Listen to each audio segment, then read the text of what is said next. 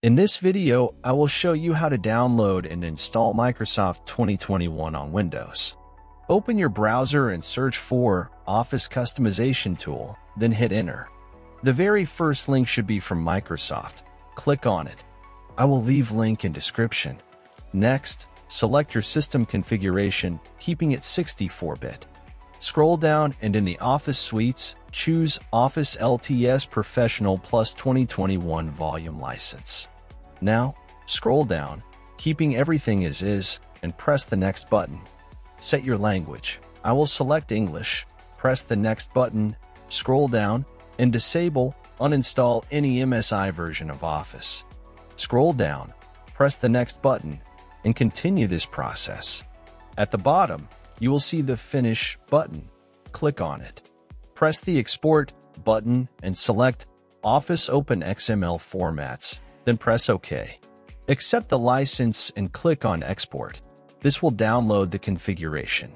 Next, search for Office Deployment Tool and click on the very first link from Microsoft. Link is in description. Download the Office Deployment Tool. Go to the location where your files are downloaded create a new folder named Office 2021 and paste the downloaded files inside it. Run the Office Deployment tool as an administrator and select the folder where you want the files to be extracted.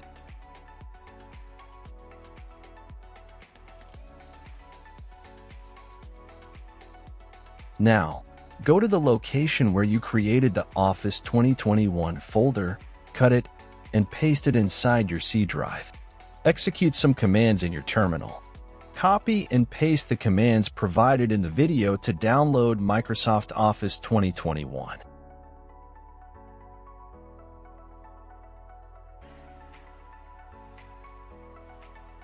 After successful installation, you can close all windows.